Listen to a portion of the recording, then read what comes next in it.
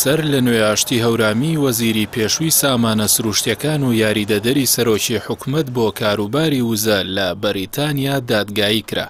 چواردەی ئابی 2009 لە دادگای شاهانەی بەریتانیا کۆمپانیای دایناستی پترلیۆم سکاڵای لەسەر ئاشتی هەورامی تۆمار کرد کۆمپانیاکە داوای ملیارێک و شەش سەد ملیۆن دۆلار قەرەبوو لە حکومەتی هەرێم دەکات و دەڵێ، بەهۆی وەزارەتی سامانە سروشتیەکانی هەرێمەوە زیانی بەرکەوتووە.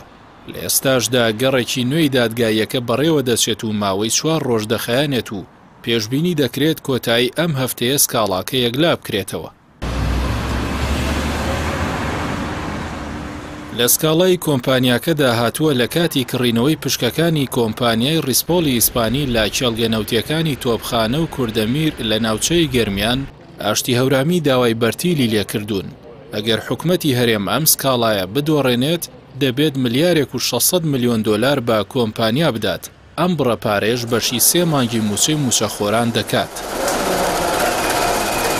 لەلایەکی دیکەوە سکاڵایەکی گەورەتر لە مانگی چواری ئەمساڵ سەبارەت بە نەوتی هەرێم یەکلا دەبێتەوە، سکاڵاکە لە دادگای ناوبژیوانی پاریس لەلایەن حکومەتی عێراقەوە لە دژی تورکیا سەبارەت بە ڕێگەدان بە هەناردەی نەوتی هەرێم تۆمارکراوە و داوای سی ملیار و چوار سەد ملیۆن دۆلار دەکات.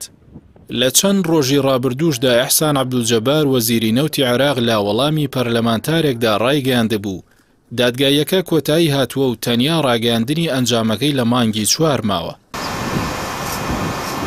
هەروەها لە دادگای فیدراڵی عێراق سکاڵایەکی دیکە دژی نەوتی هەرێمی کوردستان هەیە و تا ئێستا یەکلا نەکراوەتەوە.